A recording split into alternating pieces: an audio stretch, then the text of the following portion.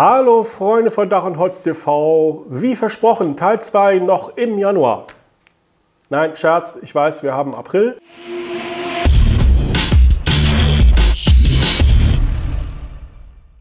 Hat ein bisschen länger gedauert, aus äh, Gründen, so ist das Leben manchmal, aber nun ist er da. Der zweite Teil vom Holzrahmenbau, wo es um die richtige Verankerung geht, der Holzrahmenbauelemente auf hm, Bodenplatte oder Sockel oder wo immer ihr die Elemente haben wollt.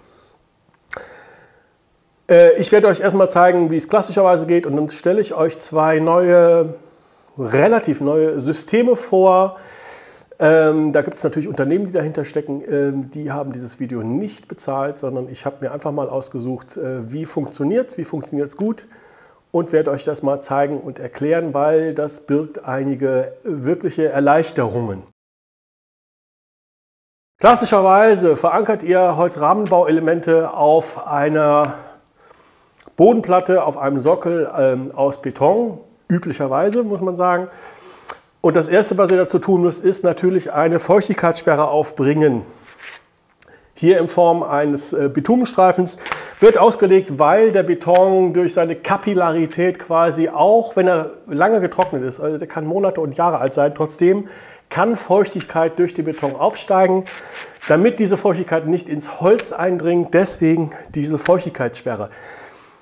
Wählt eine Feuchtigkeitssperre die nachher anschlussfähig ist, äh, eventuell daran, dass auch der Rest des Bodens abgedichtet wird.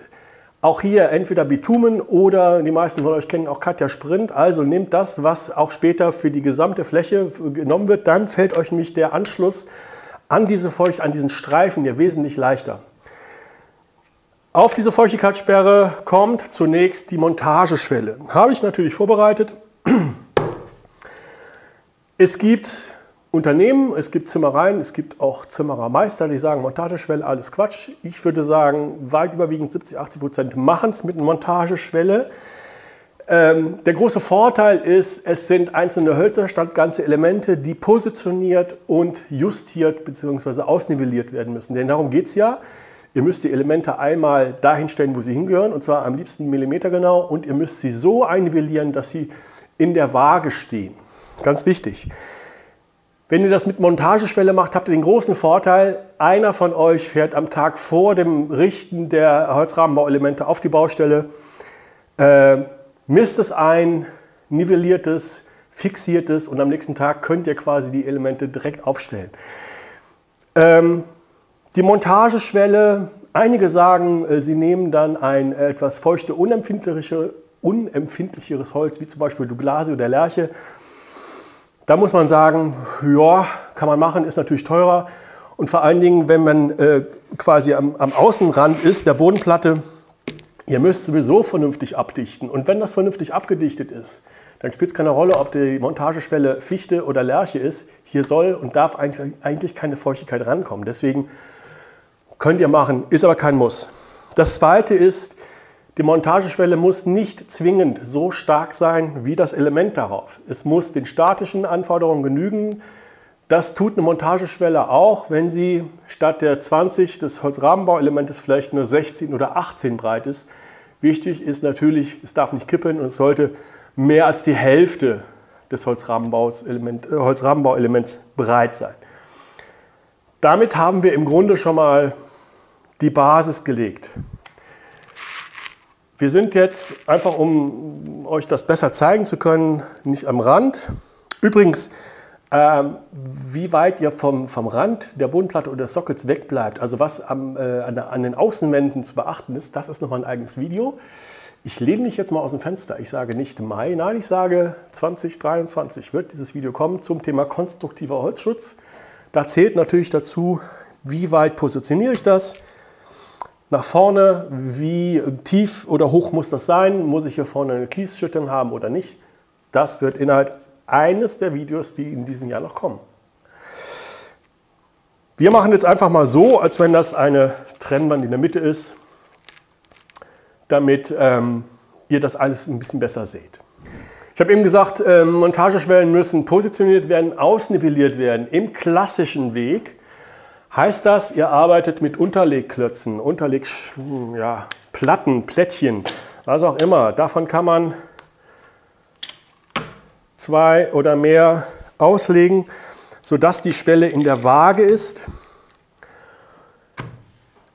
Der Spalt hier, der ist ganz wichtig, ähm, weil wenn ihr das verankert, ihr gleicht eine gewisse Unebenheit in der Bodenplatte aus. Das kann je nach Betonbauer durchaus mal zwei, drei, vielleicht auch vier Zentimeter sein. Dann habt ihr drunter eine, einen Hohlraum, äh, weil er ja nur punktuell verankert. Wie, das zeige ich euch gleich. Dieser Hohlraum darf aber nicht frei bleiben, er muss äh, gefüllt werden, und zwar mit einem sogenannten Unterstopfmörtel. Unterstoffmörtel ähm, wird eingebracht, der hat zwei Vorteile gegenüber dem normalen Mörtel. Der erste, der wichtige ist, er schwindet nicht. Normaler Mörtel schwindet so um die 1 bis 2 Prozent im Volumen, wodurch sich der Kontakt im Grunde zwischen Holz und ähm, Mörtel wieder löst. Das ist nicht gut. Der zweite Vorteil ist, äh, Unterstoffmörtel härtet schneller aus. Ähm, manche sagen auch Quellmörtel. Das ist nicht so ganz richtig, äh, weil dieser Mörtel nicht quillt. Er schrumpft halt nicht. Das ist ein Unterschied. Das heißt, ähm, wenn ihr die äh, Schwelle positioniert habt auf einer gewissen Höhe, äh, habt ihr immer noch die Herausforderung später, wenn das alles verankert ist, das hier aufzufüllen mit Unterstoffmörtel.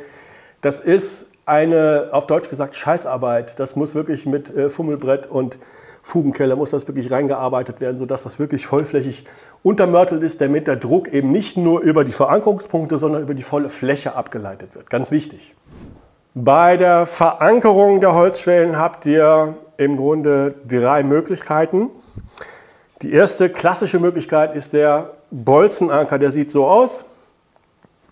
Ihr bohrt hier, ich habe hier vorgebohrte Löcher, wie ihr seht.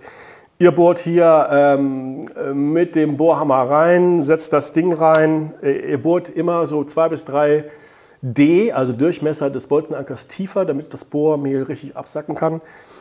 Äh, dann haut ihr dieses Ding rein und wenn ihr diese Mutter hier oben anzieht, dann spreizt sich unten der Kegel auf und ihr habt eine richtig äh, hochbelastbare Verbindung, hochbelastbare Verankerung. Das ist der klassische Weg. Das nennt sich Reibschluss. Also durch, die, durch das Aufspreizen entsteht zwischen diesem Kegel hier und der Lochleibung quasi ähm, eine, eine Reibung, ähm, ein Pressdruck, der das Ganze wirklich bombenfest hält. Zweite Möglichkeit ist natürlich, ihr arbeitet chemisch. Äh, chemische Verankerung ähm, hochfest, muss man wirklich sagen. Hat den großen Vorteil, äh, dadurch, dass ihr keinen Druck habt, keinen Spreizdruck, ähm, könnt ihr näher an die Kanten rangehen. Also die Randabstände werden geringer. Ähm, bei vertikalen Löchern, wie es ja hier der Fall wäre, entfällt auch die sonst übliche Bohrlochreinigung, weil wenn ihr diese 3D tiefer bohrt, das Bohrmehl, wie gesagt, sich unten sammelt. Und dann injiziert ihr quasi diesen zweikomponentigen äh, Injektionsmörtel hier rein, dreht die Gewindestange ein, ähm, wartet, naja, ich würde mal sagen so eine Stunde ungefähr. Dann zieht ihr die Mutter an und dann habt ihr schon eine richtig äh, äh, heftige und feste Verbindung. Für diese, ähm, das ist jetzt ein neues Gebinde, so kenne ich anders, Fischer, man sieht's. Dazu braucht ihr auch eine spezielle Kartuschenpistole. Ihr seht hier, äh, das sind zwei Kammern und ihr braucht eine Kartuschenpistole, wo es auch zwei Stifte gibt, die das Ganze nach vorne zusammendrücken. Ganz wichtig ist, ähm, wenn ihr die Masse rausdrückt, immer so die ersten 10, 15 cm nicht verwenden, weil da ist das noch nicht gemischt, ja, hier in dem Statikmischer, der hier vorne dran hängt, sondern erst nach 10 cm ist es eine homogene äh, Masse aus, ich sage jetzt mal Harz und Härter, äh, die dann wirklich aushärtet und bombenfest wird.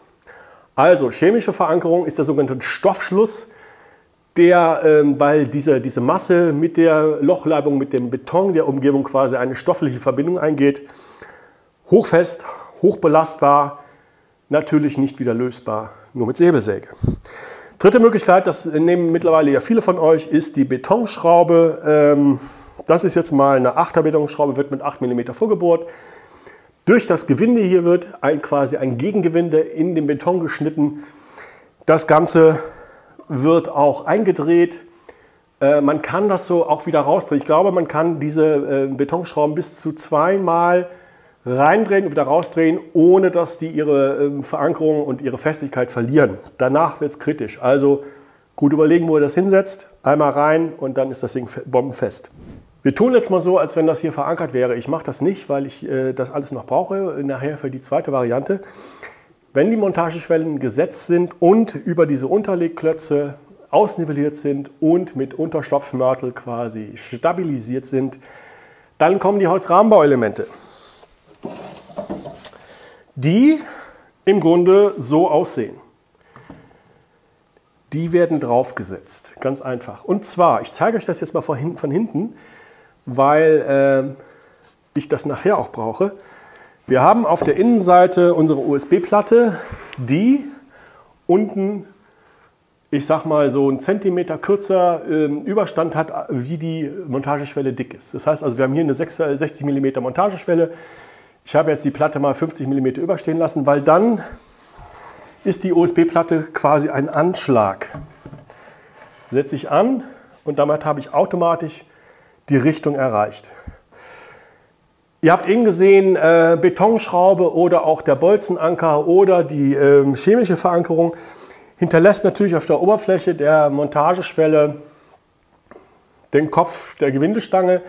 Das müsst ihr auf der Unterseite der Holzrahmenbauelemente natürlich ausbohren, ne, damit das drauf passt, satt. Äh. Und man muss sagen, alle drei Verankerungsvarianten ähm, sind zwar bombenfest, reichen aber nicht aus, um Holzrahmenbauelemente dauerhaft festzuhalten auf dem Platz, wo sie stehen sollen. Um die Elemente nochmal extra zu verankern, gibt es zwei Arten von Winkel bzw. Ankern. Zum einen ist das ein sogenannter Zuganker. Ich ziehe das mal ein bisschen weiter hier rüber. Der sieht so aus. Dieser Zuganker ist dazu da, die Elemente gegen vertikales Abheben zu sichern. Das erkennt man auch daran, dass quasi dieser Schenkel hier mit den ganzen Löchern am Stiel befestigt wird und über die Vielzahl dieser Löcher und die Vielzahl der Ausnagelungen bzw. Äh, Ausschraubungen, kann man auch, ähm, erreicht ihr die volle Tragfähigkeit. Unten wird der Zuganker mit einer Betonschraube, ähm, Bolzenanker oder auch wieder chemisch im Beton verdübelt und damit habe ich erreicht, dass das Element nicht nach oben abhebt. Es gibt statische Lastfälle, wo eine höhere Lastaufnahme pro Zuganker nötig ist. Dazu bieten viele Hersteller, ich sage es jetzt einfach mal, das hier ist jetzt mal von Spax, sogenannte Druckplatten an, die werden unten eingelegt, mit dem Zuganker im Beton verankert und damit habt ihr auf jeden Fall ähm, verhindert, dass das Ganze nach oben abheben kann. Ich habe eben schon gesagt, der Zuganker muss am Stiel natürlich ähm, vernagelt oder verschraubt werden. Ihr nehmt entweder Rillennägel, kennt ihr, Kammnägel, Rillennägel, oder es gibt auch sogenannte Holzverbinderschrauben, die ähm, eine spezielle Ausformung unterhalb des Kopfes haben, sodass sie die Scherkräfte aufnehmen können. Wenn ihr euch vorstellt, Vertikal, Vertikalkraft geht nach oben, das heißt, alle Verbindungsmittel hier werden auf Abscheren beansprucht. Das könnt ihr mit normalen Schrauben nicht machen, sondern nur Kamm- oder Rillennägel oder Holzverbinderschrauben. Ob das ganze Teil oder voll ausgenagelt wird, in welchem Abstand dieser Zuganker zu platzieren ist, das alles ist abhängig von der Statik, das sagt euch euer Tragwerksplaner und dementsprechend macht ihr das. Die zweite Variante das ist der sogenannte Schubwinkel, weil so ein ähm, Element oder so ein Gebäude ja nicht nur nach oben abheben kann, sondern es kann sich auch horizontal verschieben. Dafür setzt man sogenannte Schubwinkel ein, die im Grunde hier verbolzt werden, auch hier wieder mit ähm, Bolzenankerinjektion oder Betonschraube im Beton unten.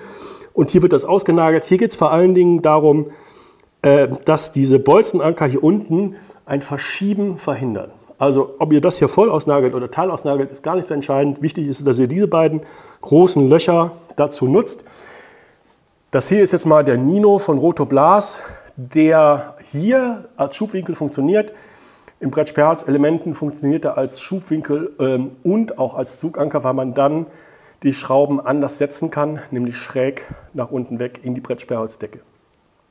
Also diese beiden Verankerungen braucht ihr, um die gesetzten Brettsperrholz-Elemente zu sichern. Wann macht man das? Unterschätzt nicht die Windkraft. Ausrufezeichen. Das heißt, in dem Moment, wo ihr die Elemente gesetzt habt, ist das Gebäude am leichtesten. Äh, und deswegen wartet damit nicht, bis das ganze Ding, bis das ganze Haus aufgebaut ist, sondern macht es, sobald diese Elemente justiert sind, positioniert sind und alle sicher sind, dass alles richtig ist, sofort gegen Abheben und gegen Verschieben sichern. Ganz wichtig, sonst fliegt euch übers Wochenende das Ding auch mal weg. Wenn der Sturm Jasmin oder so kommt, wer weiß, äh, das hat man manchmal eben nicht so am Schirm, im wahrsten Sinne des Wortes. Also, sobald das Ding steht, verankern, dann seid ihr auf jeden Fall auf der sicheren Seite. Bei, der, bei dem Zuganker äh, ist es auch noch entscheidend, ähm, ihr könnt diese Zuganker auch über sogenannte Zwischenschichten verankern. Das heißt, ihr habt hier USB beplankt auf den Stielen. Ihr könnt durch die USB-Platten durchgehen. Das mindert die Tragfähigkeit minimal, ist aber zu vernachlässigen. Äh, Im Gegensatz dazu USB-Platte ausschneiden, um den äh, Zuganker quasi direkt am Stiel zu befestigen, ist extrem aufwendig und bringt nicht das Mehr an Tragfähigkeit. Dann lieber komplett ausnageln oder ausschrauben. Dann seid ihr auf jeden Fall auf der sicheren Seite. Ihr müsst das natürlich bei der Länge berücksichtigen, bei der Verankerungstiefe im Holz, dass ihr hier eben nochmal 15 mm, in der Regel 15 mm USB dazwischen habt. Gut, ihr seht, so geht es erstmal grundsätzlich. Die Hauptherausforderung ist ähm, nicht unbedingt mh, hm, das Positionieren, das kann man ja einmessen, sondern die Hauptherausforderung ist wirklich das Nivellieren. Und da gibt es mittlerweile Lösungen, ähm, die euch das Ganze doch erheblich erleichtern. Und das zeige ich euch jetzt mal.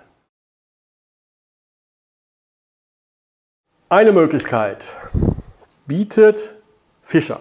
Ich muss die Namen einfach mal nennen, ist ja nun mal so. Fischer bietet einmal die Betonschraube Ultracut an, äh, habe ich eben schon gezeigt, und zwar mit speziellen Unterlegscheiben, die sehen so aus. Pro Schraube äh, braucht ihr zwei davon. Und äh, mit Hilfe dieser Unterlegscheiben äh, lässt sich das Ganze quasi nivellieren im Bereich, ich sag mal so bis 20 Millimeter. Also schön Gruß an den Betonbauer. Ihr müsst genauer werden. 20 mm sind möglich, ohne dass es staatliche Probleme gibt. Starttische, nicht staatliche. Äh, ihr könnt euch vorstellen, ähm, wenn ihr hier bis zu 5 äh, cm hoch seid, ähm, allein mit der Betonschraube wird es halt schwierig, weil dann wieder ein, ein Moment entsteht, ein Kippmoment. Deswegen sagt Fischer, 20 mm reicht. Wie das Ganze funktioniert, äh, ganz kurz erklärt. Jetzt wird auch richtig gearbeitet. Ihr bohrt einmal im Beton vor.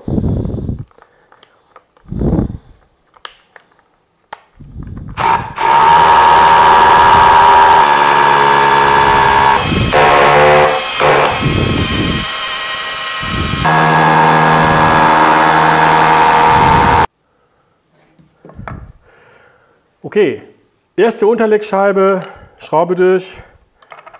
Und dann rein damit.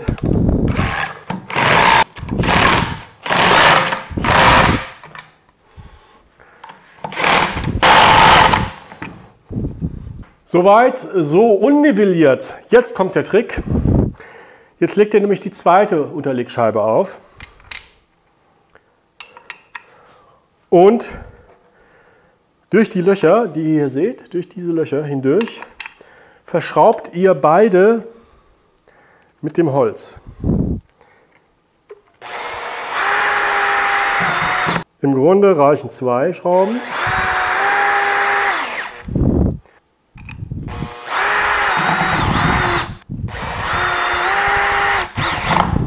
So, und wenn ihr jetzt mit dem Schlagschrauber quasi die Betonschraube wieder rauszieht, dann werdet ihr sehen, bewirken diese Schrauben, dass das Holz mit nach oben gezogen wird. Also, ihr seht, hier entsteht der Hohlraum. Hier auch. Das heißt, ihr könnt also über die Einschraubtiefe dieser beiden Betonschrauben könnt ihr das Holz ausnivellieren. Ganz wichtig.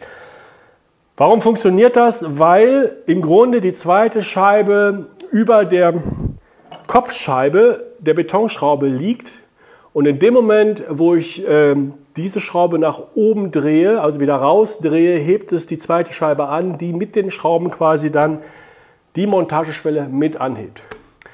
20 mm gehen, darüber wird es haarig, bis 20 mm. Wenn es also wirklich nur wenig auszunivellieren gibt, könnt ihr auch auf Schubwinkel und Zuganker verzichten. Es kommt immer darauf an, wie tief ihr mit der Betonschraube im Beton seid. Also sicherer ist es auch hier trotzdem ähm, Schubwinkel, ähm, Zuganker einzusetzen und diese Ultracut mit den äh, Unterlegscheiben wirklich nur als Nivellierhilfe zu sehen, dann seid ihr auf jeden Fall auf der sicheren Seite. Beziehungsweise, das sind natürlich alles so Details. Wo setzt ihr die, wie viel setzt ihr mit Montage, äh, mit, mit Zuganker, mit ähm, Schubwinkel? Erfahrt ihr normalerweise wirklich aus der Statik von eurem Statiker, von eurem Tragwerksplaner. Ganz wichtig. Aber das macht das schon wesentlich, ich sag mal, angenehmer und wesentlich einfacher, Montageschwellen wirklich auszunivellieren und dann mit, der, mit den Holzrahmenbauelementen äh, drauf zu gehen. Jetzt gibt es noch eine Lösung, die geht noch einen Schritt weiter. So, ihr seht, ich habe schon mal was vorbereitet. Und zwar diese beiden Bolzenanker hier mit zwei Muttern. Was das mit den zwei Muttern auf sich hat, erkläre ich euch jetzt. Ich erkläre euch nämlich den HCW-Verbinder. Der sieht so aus. Einige von euch werden vielleicht an eine Rampermuffe oder sowas denken. Also es ist ein Holzverbinder mit einem Außengewinde und einem Innengewinde beziehungsweise hier zwei Spannbacken, so nennt sich das. Und dieser äh, HCW-Holzverbinder wird in das Holz eingedreht und dann auf diese Bolzenanker, auf die Gewindestangen aufgesetzt. Die zweite Schraube hat den, den Zweck, die ist vorab komplett millimetergenau justiert auf Höhe. Das heißt also, ihr setzt äh, das Holz, in diesem Fall sind es übrigens äh, nicht Montageschwellen, sondern tatsächlich die fertigen Holzrahmenbauelemente. Das ist einer der großen Vorteile von diesem System. Zeige ich euch gleich. Ihr setzt das, äh, das äh, Element auf, diese Gewindestangen rasten in dem Holzverbinder ein, unlösbar, muss man wirklich sagen, äh, sind aber quasi perfekt positioniert und perfekt in der Höhe ausnivelliert. Diesen HCW-Verbinder gibt es in zwei Ausführungen. Das ist einmal der hier, der unten in der Schwelle sitzt.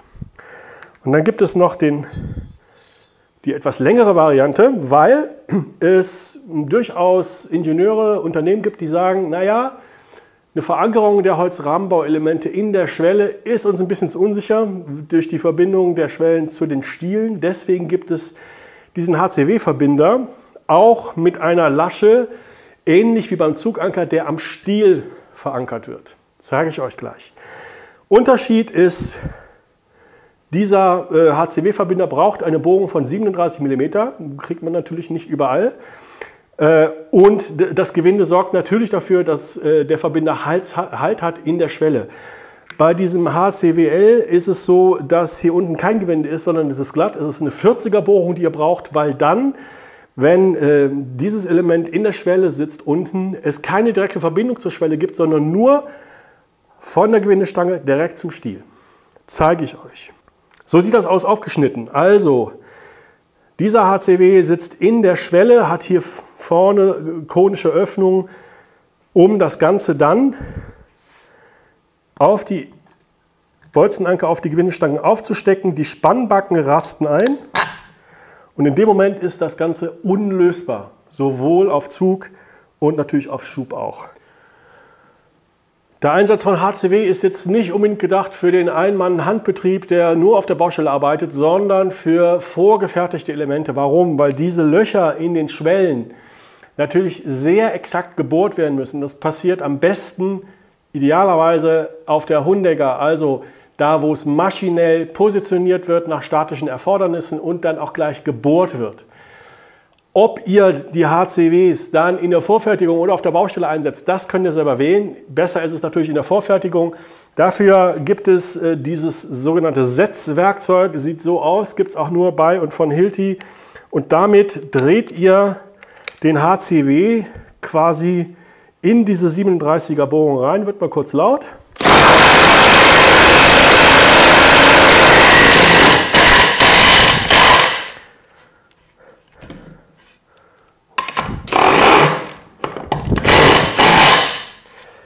Ganz wichtig dabei ist natürlich, dass das wirklich exakt bündig eingedreht wird, weil das Ganze ja höhenmäßig schon ausnivelliert ist. Und damit kommen wir zum nächsten Punkt, wenn ich die Schwelle mal wegnehme.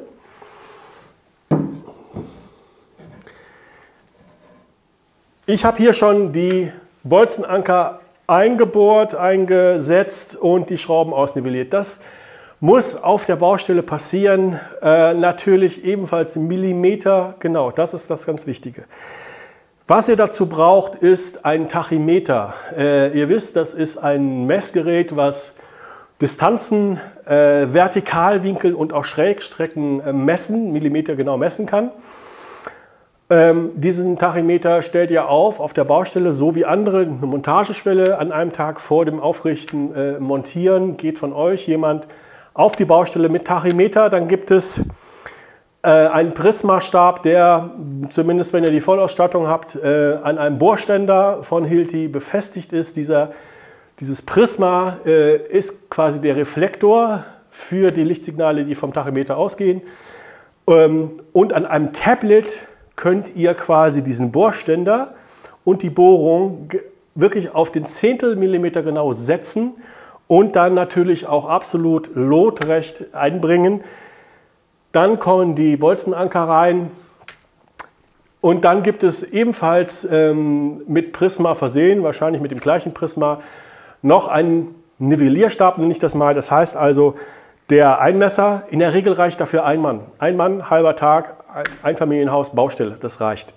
Der justiert ebenfalls mit dem Prisma und dem Tachymeter diese Mutter hier quasi ebenfalls auf den Zehntelmillimeter genau auf Höhe. Das war's. Das ist die Vorbereitung. Alles andere findet in der äh, Vorfertigung statt. Das heißt, da macht ihr die Elemente zu. Der große Vorteil, muss man sagen, es gibt zwei Vorteile. Der erste Vorteil ist, ihr könnt euch die Montageschwelle sparen. Ihr könnt das Element aufsetzen.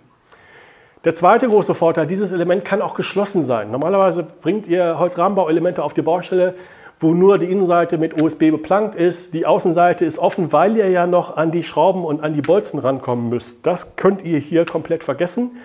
Ihr setzt das ganze Ding auf, rastet es ein, schwertet es ab gegen Umkippen. Das war's. Also einfacher geht's nicht. Äh, es ist keine, auch wenn es sich so anhört, es ist keine Hightech-Lösung, muss man wirklich sagen. Tachymeter gehört äh, zur Grundausstattung jeder halbwegs geordneten Zimmerei äh, und Holzbaubetrieb. Ähm, und ich habe eben gesagt, ein geschulter Mensch mit diesem System schafft es, diese Verankerungspunkte, die auch natürlich statisch bemessen sind, Abstand und all das, ähm, an einem halben Tag äh, Einfamilienhausgröße quasi einzurichten. Ganz wichtig, wenn dann bis am nächsten Tag die äh, Jungs mit den Elementen kommen, Abdeckkappe, da gibt es kein Stolpern. Ne? Ja, gibt es kein Stolpern und ihr wisst, wo die Ankerpunkte sind. Und vor allen Dingen verdreckt das Gewinde nicht, das ist immer ganz wichtig. So, ich habe natürlich sowas auch mal vorbereitet, zeige ich euch. Läuft. So, sitzt, passt, hat Luft. Ihr habt gesehen, äh, das ist natürlich ein sehr leichtes Element. Ich musste ein bisschen nachdrücken. Die echten Elemente haben natürlich äh, bis zu einer Tonne Gewicht. Die setzen sich von, äh, von alleine da drauf und dann hält das.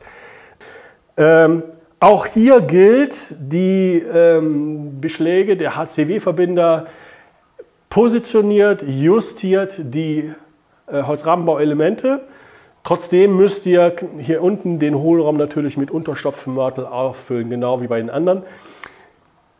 Der große Vorteil auch davon, dass man das Element als Ganzes aufsetzen kann, ihr könnt den Unterstopfmörtel natürlich auch vorher aufbringen. Das heißt also, ihr nehmt euch eine Schlagschnur und dann äh, beklatscht ihr äh, die, die Schmoddermasse quasi hier drauf, setzt dann das Element in die HCW-Verbinder und dann habt ihr automatisch nicht nur das ausnivelliert, sondern ihr habt quasi den Mörtel gleich unten drunter. Ihr müsst natürlich aufpassen, dass er nicht das Gewinde verschmutzt. So, hier seht ihr diesen HWCL, HCWL. Das heißt also, hier geht es darum, eine direkte Verbindung von dem Bolzenanker im Beton in der Bodenplatte zu einem Stiel herzustellen. Im Grunde wie ein Zuganker auf der Innenseite. Ich habe eben gesagt, ähm, dass ihr das Element erschließen könnt. Dann ist natürlich wichtig, dass ihr diese Elemente äh, annagelt oder anschraubt. Auch hier wieder Rillennägel ausnageln. Die Tragfähigkeit von solchen äh, Zugankern oder von diesem HCWL äh, ist immer abhängig davon vom Ausnagelungsgrad der Löcher. Ja? Also Vollausnagelung habt ihr auch volle Tragfähigkeit, Teilausnagelung habt ihr eben nur eine Teiltragfähigkeit. Statikerfragen, macht klug. Das müsst ihr natürlich vorher machen und dann äh, setzt ihr das Ganze auf und dann habt ihr quasi eine direkte Verbindung vom Beton über den Bolzenanker in den Stiel, was einigen Statikern und einigen Ingenieuren einfach lieber ist. So, das war's, liebe Leute. Holzrahmenbau Teil 2. Verankerungen auf der Bodenplatte oder auf dem Sockel, äh, in der Regel im Beton. Eins muss ich noch sagen, dieses System äh, funktioniert nicht nur auf Beton, sondern über diese Stockschrauben funktioniert es natürlich auch auf Brettsperrholz oder Brettstapelholzdecken. Die dreht ihr ein, Punkt genau, was natürlich in Holz immer ein bisschen einfacher ist als im Beton. Setzt das nächste Element drauf. Ihr könnt schräge Dachflächen damit äh, verankern, ihr könnt Decken damit verankern, ihr könnt Wände damit verankern. Es ist im Grunde ein Stecksystem wie Lego. Das Einzige, was ihr braucht, ist wirklich einmal eine gute Schulung mit den Geräten, die ihr braucht, Tachymeter, Prisma, Tablet, äh, Bohrständer. Und dann ist das eine runde Sache. That's it. Also, so befestigt ihr Holzrahmenbauelemente. Heute muss man sagen, der Holzbau schreitet ja technisch immer weiter voran. So könnt ihr das Ganze verankern, hält bombenfest. Ähm, wie weit, das habe ich am Anfang schon gesagt, äh, eines, eines meiner nächsten Videos, ich lege mich nicht mehr fest, Leute, ich lege mich nicht mehr fest. Aber eines meiner nächsten Videos beschäftigt sich mit dem konstruktiven Holzschutz. Das heißt also, wie weit muss ich zum Beispiel mit einer Schwelle von der Kante der Bodenplatte oder des Sockels wegbleiben? Was muss hier vorne passieren? Oder was äh, passiert auf waagerechten Oberflächen? Also, das ist eines der nächsten äh, Themen.